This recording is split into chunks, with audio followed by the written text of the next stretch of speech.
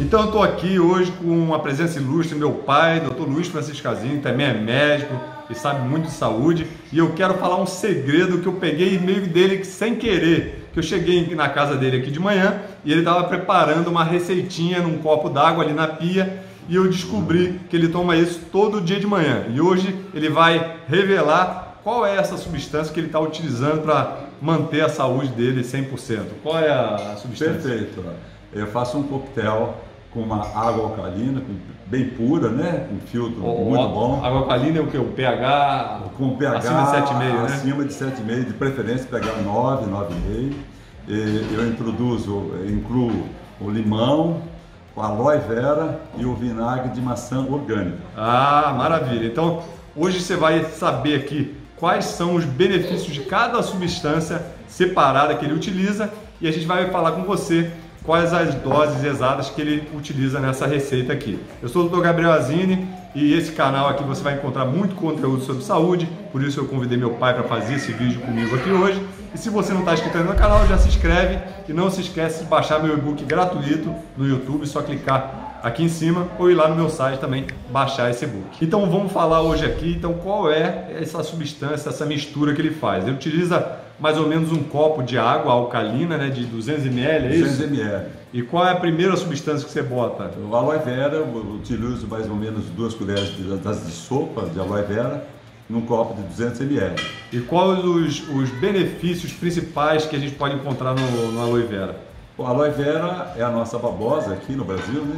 Ela é, atua principalmente no fortalecimento da, do sistema imune, atua nos distúrbios é, gastroentéricos, como o refluxo, as gastrites, é, melhora síndrome do intestino irritável também é interessante, é, previne, trata a síndrome do intestino irritável, é, melhora a constipação intestinal também.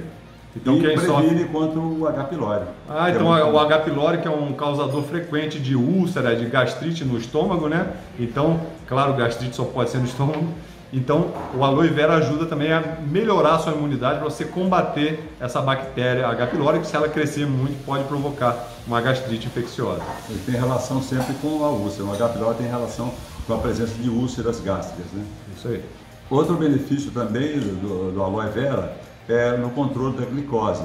Então, ela diminui a, a glicose é, sanguínea e é muito importante também no controle do, do no tratamento do diabetes. Então, para quem é pré-diabético ou diabético, ela pode causar até uma diminuição dos níveis de açúcar, então pode ser até perigoso. Então, se você é diabético, fale com o seu médico se você está pensando em utilizar essa substância, porque ela pode diminuir mais a sua glicose e associado com outros medicamentos que você já toma, pode ser muito perigoso. E a segunda substância que ele coloca também nessa, nessa solução é o limão espremido. Quanto de limão você eu, bota? Eu uso geralmente um limão inteiro espremido. E o limão tem como objetivo suprir o corpo de vitamina C, que é um antioxidante muito conhecido, muito potente, é, eliminando, neutralizando os radicais livres, que as pessoas eh, certamente possuem, além de é, é, ser um ácido fraco e, e ajudar e quando entra no corpo, ele, ele é, se torna uma substância alcalina. E a alcalinidade ajuda muito na, na digestão, é, estimulando as enzimas, é, as enzimas produzidas pelo pâncreas e pelo estômago. É, e muito importante, por que, que ele é alcalino? Tudo que tem muito potássio alcaliniza o nosso corpo. Então as frutas, legumes e verduras gerais que têm bastante potássio, é uma excelente fonte de potássio, Perfeito, causam uma alcalinidade que ajuda o nosso corpo a manter o pH que ele não pode mudar muito, senão a gente não conseguiria sobreviver. Se o pH do seu sangue mudar, então não tem como ser um pH alcalino, ácido, ele, ele mudar de alcalino para ácido. Ele tem que ter um estrito valor de pH, que se ele mudar muito disso, você iria morrer por um distúrbio dos seus eletrólitos, né, das substâncias que tem no seu corpo. O limão também é muito importante porque a vitamina C ela estimula a produção de colágeno. Então o seu colágeno é excelente para a sua pele, para manter sua pele mais jovem e também para as articulações, que a gente sabe que as articulações têm grande quantidade de colágeno tipo 2 na cartilagem articular. Então, você estimulando a produção de colágeno é muito saudável, tanto para a sua pele, para os seus ossos, para as suas articulações também. É. Né? E o limão melhora muito a chamada resistência insulínica que é a melhora da qualidade da insulina, que permite que a glicose penetre na célula. Então, a utilização da, da vitamina C no limão ajuda muito na, na, chamada resistência insulínica. Então é bom até para quem está buscando emagrecimento, né? Porque se a pessoa tem resistência insulínica, sobe muito os valores de, de insulina dela e esse excesso de insulina vai estimular a lipólise, né? vai estimular a lipogênese, a produção de mais tecido gorduroso. Então, se você diminui a resistência insulínica, facilita o emagrecimento, né? a queima de gordura. Né? Isso facilita também o controle da diabetes. Claro, claro.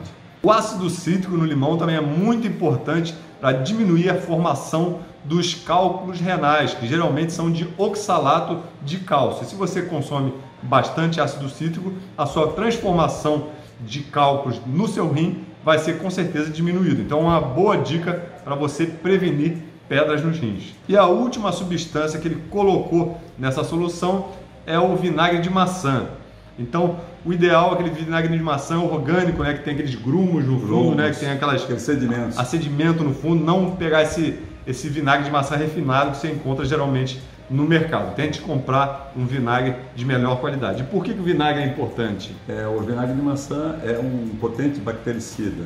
Hipócrates, que é o pai da medicina moderna, já utilizava no tratamento uh, o vinagre no tratamento das feridas, porque sendo um, um bactericida, ele é, é, mata todas as bactérias que, que estão presentes na ferida e, e, e o processo de cicatrização ocorre mais mais rapidamente. A ferida tem um contato da, da, da, parte interna do nosso corpo com o ambiente, onde tem bactéria, Perfeito. então pode desenvolver essa bactéria. Então, ele utilizando o vinagre de maçã, ele evitava que essas bactérias que estavam no ambiente contaminassem o nosso corpo. Né?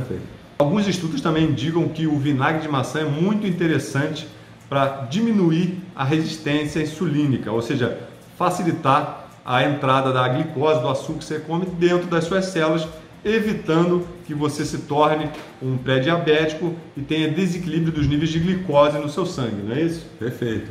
E o vinagre de maçã também é um excelente repositor de potássio. Nos pacientes com hipocalemia, os pacientes que têm diminuição de potássio no sangue, porque muitas vezes tomam determinados tipos de diuréticos, tem que fazer a reposição, eh, de, devem fazer a reposição de potássio. Então, o, o, vinagre de maçã orgânico é um excelente suplemento de potássio para esses pacientes.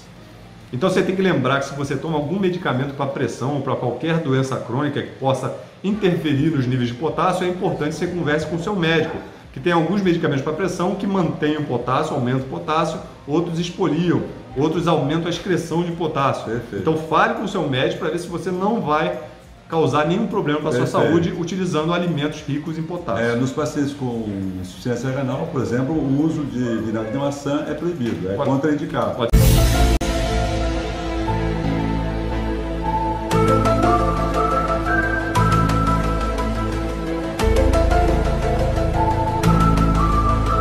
Perigoso porque ele vai manter muito. Meu Deus do céu. Então, se você utiliza algum medicamento para baixar a pressão, para qualquer doença crônica que possa interferir nos níveis de potássio, fale com o seu médico antes de tomar o vinagre de maçã ou qualquer outra substância que pode ser perigoso. Se você aumentar muito o seu nível de potássio ou baixar muito o nível de potássio, pode ser perigoso para a sua saúde. É, nos pacientes com insuficiência renal, é contraindicado o uso de vinagre de maçã, porque aumenta a ingestão de potássio e o rim não, não está eliminando o, potássio. Né? Pode ter uma dificuldade de manter o equilíbrio entre o potássio, sódio e outros nutrientes. Né? Perfeito. Né? Então a gente já falou dos nutrientes, a quantidade a gente já falou, é um copo de 200 ml de água, né? um limão inteiro espremido, duas colheres de sopa de aloe vera. aloe vera e de vinagre de maçã, qual é a quantidade? Uma, no início começar com uma colher de sopa e depois de um mês passa para devemos passar para duas colheres de sopa. Mas não tome sem falar com seu médico, seu nutricionista, porque isso pode dar alterações,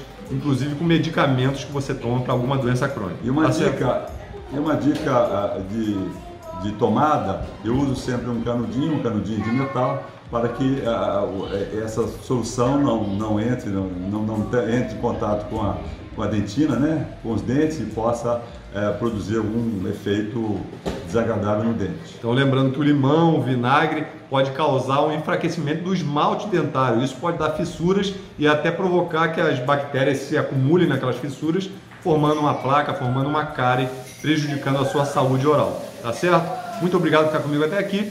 A gente se vê no próximo vídeo. Obrigado. Queria agradecer a presença do meu pai aqui para trazer muita cultura aí. E se eu descobrir mais alguma coisa que ele usa escondido aqui, eu falo com vocês. Um abraço.